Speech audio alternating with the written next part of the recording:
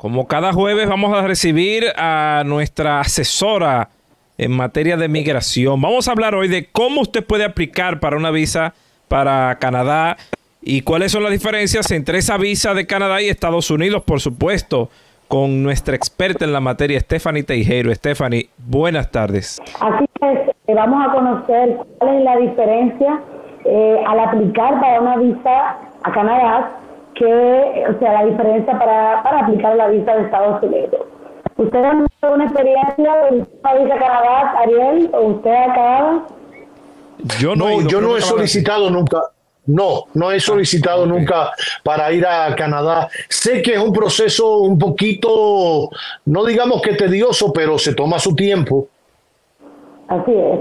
Y es, ellos son muy estrictos a la hora de evaluar y eh, el proceso es totalmente diferente que a Estados Unidos. En primera instancia no existe lo que es una entrevista consular porque no tenemos un consulado eh, para decir que nos represente en el país y el consulado que nos corresponde a nosotros y a todos los países del Caribe es el consulado que está en México. Lo que sí tenemos aquí es un centro de aplicación donde colocarnos las huellas y donde enviar el, pasaporte en caso de aprobación. Entonces, ustedes saben, eh, vamos a hablar del tema de la cultura del dominicano, para que veamos la gran diferencia y por qué tantas personas reciben una negación cuando vamos a hablar de visa a Canadá. Ustedes saben que el dominicano, por costumbre, a veces tiene cinco casas y ni siquiera, ni siquiera tiene el título de esa casa, ni un acto de venta. El dominicano tiene vehículo y ni siquiera sabe que el, vehículo está en nombre del, del bisabuelo de él o de, la persona que se lo vendió y no terminó o agotó el procedimiento. El dominicano a veces tiene hijos, eso ya casi no se usa, pero eh, hace muchos, hace 10 años atrás el dominicano declaraba, ni declaraba a sus hijos. Este es el procedimiento está eh, un poquito más eh, eh, cómodo, ¿verdad? ¿Y qué pasa con esto y por qué se los digo? Y es que la embajada o el consulado, porque si tenemos embajada en país, el consulado de Canadá evalúa en base a documentos de respaldo. Yo no te voy a entrevistar, pero yo voy a evaluarte en base a los documentos que tú me, que tú me adjuntes en la plataforma. Primero, eh, el primer paso que debes hacer después de llenar las formas es adjuntar los documentos de respaldo. Entonces, ahí te voy a pedir, en calidad de cónsul, que tú me agregues, me dices que tienes una casa, la evidencia como tal. La matrícula de tu vehículo, si eres propietario de un negocio, el registro mercantil o carta de trabajo, incluyendo el tiempo que tiene ese trabajo. Y si puedes eh, indicar que vas de vacaciones porque coincide con las vacaciones laborales, pues entonces es bueno que lo argumente. Los hijos que tiene hasta el nacimiento, hasta el matrimonio. Eh, Canadá exige que tú adjuntes tus estados bancarios de los últimos meses. Aquí no se usa. Que mire mi primo, tú por favor, depositarme un millón de pesos en la cuenta. Y entonces, la incoherencia como el estado de, de, seis años, de seis meses atrás. Entonces, aquí el oficial, evidentemente, que va a evaluar qué dinero, qué cantidad de dinero tú has eh, eh, recibido en seis meses. Y por eso, aquí es más estricta la evaluación. Carta de banco, que no es lo mismo que estado bancario, que es lo que dice con cuánto tú cuentas en este momento para dejar a mi país. Vemos que Canadá se concentra mucho en lo económico más que en lo familiar y social y también de que tú no representes un peligro para su país. En Estados Unidos tú puedes recibir una aprobación y el oficial consular cree que tú le dijiste que sí, que tienes una casa. Pero el oficial no puede revisar ni te pidió el documento y, tú, y te cree por, por buena fe.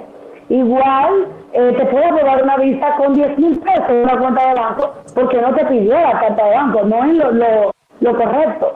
Pero en Canadá no existe como tal porque tienes que adjuntar la evidencia de que tú sí cuentas con recursos económicos para viajar al país. pero, ¿qué tan dificultoso entonces es? Eh, o sea, ¿cuáles son las posibilidades de que una persona común que tiene su buen trabajo, que tiene su familia, que tiene unos ingresos promedios, pero que le gusta viajar y puede viajar, de que se la vayan a negar el visado hacia Canadá? O sea, por ejemplo, a mí, que tengo dos trabajos, tengo una familia, tengo mi visa eh, eh, a Estados Unidos, que esa es también otra pregunta que va dentro de esta. ¿El visado americano te ayuda también para obtener el canadiense?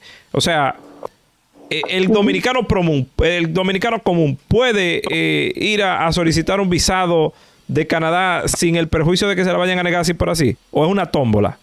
No, eso no, no es una tómbola porque dijimos que en base a evidencia. Aquí no es lo que yo perciba por tu lenguaje corporal, cómo me respondiste, cómo te manejaste en la entrevista, la seguridad que tú eh, me, me, diste cuando me respondiste, lo que tú declaraste. Aquí es lo que tú digas, tienes que probarlo con documentos de respaldo. Entonces, quien tiene un perfil medio alto, alto, sí el porcentaje de aprobación es un 95%, porque eso se puede garantizar. Porque lo que tú me estás diciendo, Ariel, tú me lo estás comprobando con tu evidencia. Sin embargo, la embajada de Estados Unidos lamentablemente se le, como dice dominicana, se le cuela a muchísima gente porque se cansaron de los documentos eh, alterados, entonces ya ellos no están solicitando documentos en el 90% de los casos. Ok. Eh, Stephanie, una pregunta. Ariel te, Ariel te preguntaba en torno al visado de Estados Unidos. Por ejemplo, ¿eso eh, aporta en algo, ayuda a que Canadá te dé eh, su visa para entrar a su territorio? No te garantiza que te dé un visado, sin embargo, no tan solo a Estados Unidos a cualquier país que tú hayas entrado, un país obviamente desarrollado económicamente, que tú hayas entrado y le hayas dado un uso, pues te va abriendo la puerta porque te va creando un perfil de turista. ¿Sabes eh, entonces, eh, ¿dónde para yo solicitar Ahora, eh, otra pregunta, si un dominicano tiene Sí, adelante, Cavada. Si un dominicano tiene la residencia, la residencia de Estados Unidos, que era el tema que tocábamos la semana pasada, eh, tiene la residencia, pero está en República Dominicana, eh, puede, puede entrar a territorio eh, de Canadá con la residencia de Estados Unidos o tiene que solicitar un visado. Tiene que solicitar un visado. Si es ciudadano de los Estados Unidos, no. Obviamente que no pero si es un residente de los Estados Unidos, tiene que solicitar el visado. Obviamente, el porcentaje de aprobación es muy alto, ¿verdad? Vamos a ser claros. tiene que solicitar el visado. Eso es así. ¿A qué página eh, de o a, qué página web debe entrar un dominicano para solicitar ese visado o para empezar el, los procesos de solicitud? Sí, eh, fuera excelentísimo si pudiéramos dejarlo aquí, el website de Canadá, eh, de hecho, cuando vayamos a subir la Instagram, vamos a ver si lo colocamos. Eh, se dividen al website de Canadá, donde aplican llenan todas las formas. Una vez llenen las formas, se adjuntan al website y la misma plataforma te va a indicar, en base a lo que tú declaraste, los documentos de respaldo. Y luego entonces te va a indicar a pagar la tasa consular, que en este caso son 165 dólares canadienses. Ya luego que te acepte todos los documentos, te va a enviar eh, para una cita al centro de aplicación vista. Y luego que te presentes allí eh, a tomarte la huella y la foto, entonces tienes que recibir un correo que está durando bastante, dos o cuatro meses, para decirte si aprobaron el visado. Si te aprobaron la solicitud, pues entonces debes de ir nuevamente al centro de aplicación de visa a depositar tu pasaporte para enviarlo a México, Ariel, escucha bien, para que te estampen el visado canadiense. Ah, porque aquí en República Dominicana no hay un consulado canadiense ni hay ninguna oficina que se encargue directamente de esto. No, lo que sí hay una institución que tiene licitación con la eh, con el consulado, donde ellos sí reciben, vamos a decir, la solicitud que toman la huella, la foto y le envían a, a donde nos corresponde, no a nosotros, a todo el Caribe, ¿ok? Que es en México. O sea, no tenemos consulado en este momento. Teníamos anteriormente, pero ahora no tenemos consulado. ¿Y, y cuánto cuesta el servicio? 135 dólares. Eh, el, el, impuesto, 135 dólares. Esos impuestos son 185 dólares canadienses. Canadienses, o sea que no, no son dólares americanos, son dólares canadienses. y esto es pagadero ¿dónde? ¿En una página web o es eh, en un banco? En la página web. Usted mismo en la página web paga su impuesto con su de crédito y eh, eh, la, misma página web te va a, dirigir eh, al tema de la cita en el, en el centro de aplicación de visa. Es importante, sí, que se dé la página web correcta porque yo puse en el buscador solicitud de visa para Canadá y me salieron muchísimas páginas web. A mí, faltas, faltas, sí. Exacto, en las cuales usted puede caer en un gancho pagando quizás un monto de 185 dólares canadienses y cuando ven a ver no va a recibir el servicio. Entonces, eh, sí es importante poner este, este punto aquí en eh, cuál es la página oficial para usted solicitar esto. Bueno, no embajada o no consulado. Si colocan centro de aplicación a Canadá en República Dominicana, eh, ahí te va a dar todas las instrucciones para la gente que nos está escuchando. Centro de aplicación de visa de Canadá en Santo Domingo eso, eso está en el, local físico. Ahí está, yo tengo una página web que son los representantes en el país y ahí te va a dar todas las instrucciones que están buscando. Bueno, ahí está la información, don Roberto. Qué bien. Bueno, si queda algo más, Stephanie. Bueno, yo entiendo que, eh, al menos que tenga otra pregunta acerca del tema de, a diferencia del visado a Canadá y Estados Unidos, y el procedimiento de eh, visado a Canadá, entiendo que hemos dicho todo.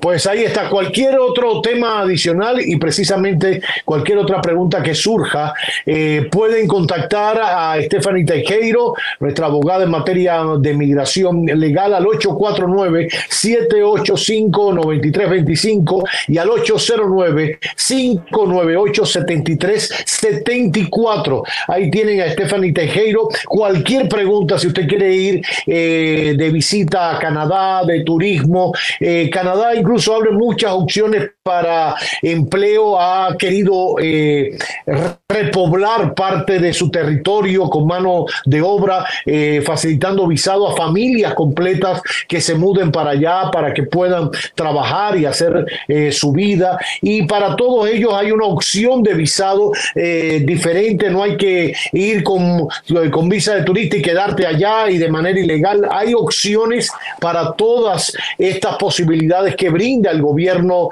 eh, canadiense a los dominicanos y especialmente a los latinoamericanos en general. Eh, pero si quiere ir de visita, ya sabe cómo es el procedimiento, difiere bastante de cómo lo hace Estados Unidos. Son vecinos, pero son gobiernos y estados totalmente eh, diferentes y hay que respetarlos en cuanto a ese mandato en materia de procedimiento, procesamiento migratorio.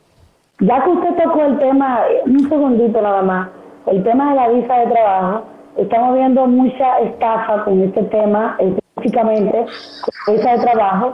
Es bueno dejarle eh, saber a la gente que eh, tener mucho cuidado de evaluar con a la persona que te elige como captadora de, un, vamos a decir, de un eh, empleador en Canadá Sí es cierto que Canadá es una es un país que necesita de empleados. Eh, es un país que tiene una comunidad envejeciente, eh, un país bastante grande con una población muy poca, pero eh, hay mucha estafa, señores, con esto. abogados, bueno, no abogados, aquí le dicen bucones, ¿verdad? Eh, cobrando con un montón de dinero en base a un contrato que ni siquiera existe. Entonces tienen que tener mucho cuidado, eh, buscar de dónde proviene, de dónde tú eres, cuál es, tu, cuál es el que te para poder entregarte, darte ese dinero que a veces lo, lo puedo necesitar eh, para, hasta para emprender un negocio. A veces estoy cogiendo el Estado y estoy poniendo mi confianza sobre ti. Entonces hay que tener mucho cuidado con el tema del fraude migratorio y no es tan solo en esta categoría de visa de trabajo, sino en cualquier categoría de visa. Ya. Bueno, pues gracias, Stephanie. Stephanie Tejero, nuestra abogada en materia migratoria, acompañándonos en este magazine que no tiene nombre.